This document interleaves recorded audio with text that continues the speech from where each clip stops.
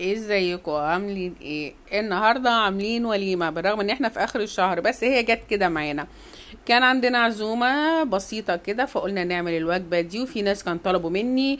ورك الديك الرومي إزاي بيتعمل بمنتهى السهولة. بصوا لونه تحفة وطعمه تحفتين وجوسي وطري ورائع. وعملت لكم كمان رز بالبهارات. رائع جدا كان جنب الأكلة دي وهم. بصوا زي ما بيقولوا عزومة بسيطة جدا. ما تكلفكيش حاجة وسهلة وسريعة. انت كنت لسه راجعة من الشغل تلحقي تعمليها. وزي ما بيقولوا ان الله يحب المحسنين تعملي سفرة يعني تشرفك بجد. تعالوا نقول عملنا إيه؟ بسم الله الرحمن الرحيم. ابتدينا ده ورك ديك رومي حوالي 2 كيلو ونص. ورك الديك الرومي ده متشال منه الجلد خلاص حبايبي إحنا شلنا منه الجلد خالص. وبعد كده بروحت غسلاه حلو قوي زي ما بغسل الفراخ وسبته ينزل ميته ورحت لفاه بشوية ملح وسايباه في التلاجة لمدة يوم. ليه ملح يا حنان؟ عشان يطري لي جلد الديك الرومي ويخلي فيه طعم.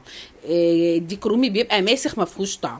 خلاص طلعته شطفته تاني من الملح حلو قوي تاني يوم شطفته تاني من الملح حلو قوي وسبته يتصفى. ورحت ماسكاه حطاه في صينية زي ما أنتم شايفين وفتحته. هنا في عملت له فتحات مش غرسته أنا عملت له فتحات.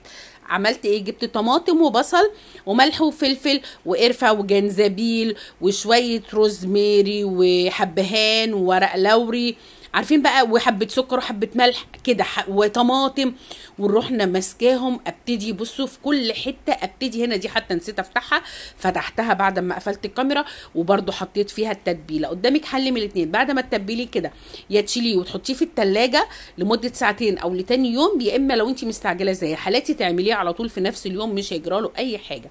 نص التتبيلة التاني هنا خلاص هو اتبل أهو.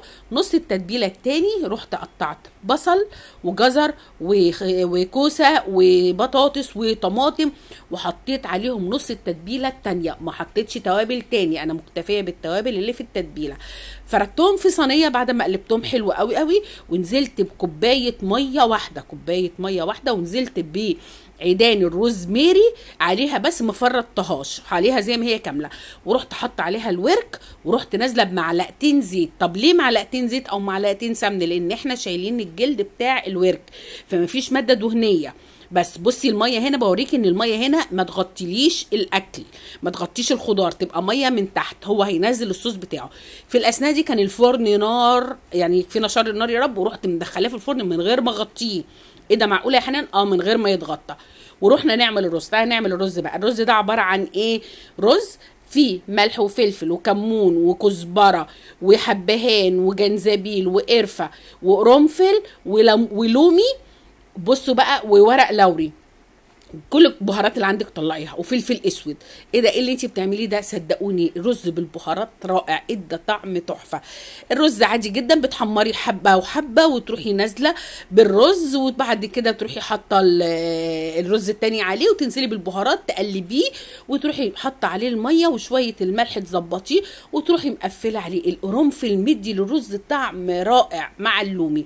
هنا بصوا خلاص هنا كان شبه استوى. بس الخضار استوى وده لسه ما استواش شوية ناقص له حبة صغيرين. قدامك حل من الاثنين يا إما تغطيه بغطا حلة بتدخل الفرن يا إما تغطيه بورق زبدة. أنا كان عندي ورق زبدة دخلت حط غطيته بورق زبدة ورحت مدخلاه الفرن تاني لأن كان لسه اللحم بيشد.